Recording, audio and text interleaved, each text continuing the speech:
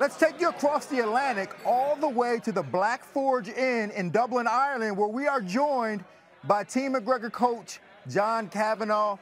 John, as a longtime coach, I want to talk to you coach to coach and man to man. Now, Conor was very adamant about getting that first group of 155 pound prospects. Then he was given the second group of prospects. Was this something that was discussed as a team? And also, were you hoping to get the vets at 135? Because now you had to coach against Brad Katona. Yeah, what's up, Coach? First of all, uh, a pleasure to be speaking with you. And um, we just finished watching episode one there. It's it's it's looking great. It's, I know it's going to be a great season. A lot of drama, a lot of action. But uh, yeah, on, on, on, the team picks, we wanted to get Lee Hammond on our team. He's um, quite new to the pro game. He's been with us a long time, training with us a long time, but he's only been a pro for about a year now. And Conor wanted to get him under the wing. In contrast to that, Brad Katona has been around the game a long time. He's won the Ultimate Fighter before. He's been with me for a long, long time. So the way it worked out was we knew that if we picked uh, Lee, we probably weren't were not going to get Brad. Just the way they, they, they, they, broke it up, that we knew we got the the, uh, the new blood. They were going to get the veterans in the 55, and then we knew they were going to pick the veterans in the 35. But Brad Katona, like I said, he's a, he's a veteran. He's been around the game a long time, and we just felt Lee would maybe do better being under direct contact. And hey, to have Brad over the other side and learning a few new things from different coaches, he's probably sick and tired of hearing my voice. So good for him to get something new from uh, Chandler and those guys. That's a very smart move on you guys part of veteran move. I applaud you for that. Now, initially during the first training, you guys had sparring right away. Conor jumped right into the sparring. What was your first thoughts on the team after that first sparring session? Yeah, I'll be honest. I was uh, hesitant with uh, with Conor's decision to have them sparring right away because, uh, you know, not not to ruin the magic of TV, but we are only with the guys for a few days before they had their first fight. But it actually, I thought it turned out to be a really smart move that it sort of got the nerves out.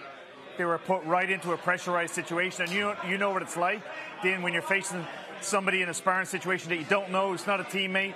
It can be quite competitive early on. So, although we did have them spar right away, it was under control. We had a lot of coaches on the mat to make sure if things got a bit spicy, we could cool it down. But I, I thought it was a great move to get the guys settled in and, um, you know, by the end of it, we could see that although the guys were, we had the new bloods, we had a lot of guys with, with good skills on the mat. And, uh, yeah, it, it got everybody, I thought, a little bit settled for what was going to come. Now, I saw Conor jumped into that sparring session. I'm sure he had a lot of fun. How has coaching this season rejuvenated his love for the game? Yeah, I mean, uh, the, for me, the love uh, of the game with Conor is always there.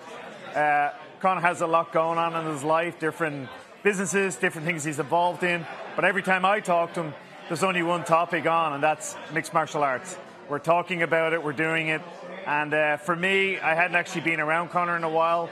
And then we, we went up uh, to kind of get things started uh, on this season and see him in there.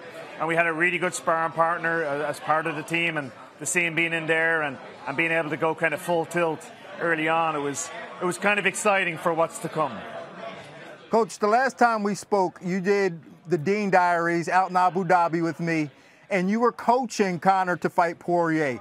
Now, for this whole season of The Ultimate Fighter, you were coaching alongside of Conor. Can you tell me which Conor you like better?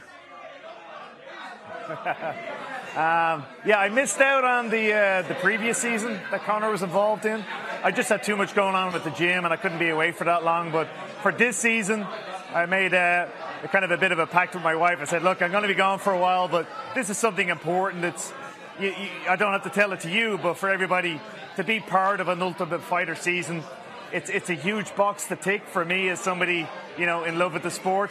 So uh, I made the commitment to go out, and, and for me, uh, Conor used to coach my boxing class. Uh, before he was a you know a, a, UFC star, he was part he was part of the coaching team for SBG way back in the day. And I always enjoyed sitting in on his classes. He was a, a really passionate, a very technical coach, and I actually picked up a lot of things uh, working alongside him this this season. So, I don't think it's any secret to say that Conor and I have quite different personalities and how we approach things. But just from a from a technical point of view, I actually learned quite a lot just listening to him. So I really enjoyed it. Thank you for watching ESPN on YouTube. For live streaming sports and premium content, subscribe to ESPN Plus.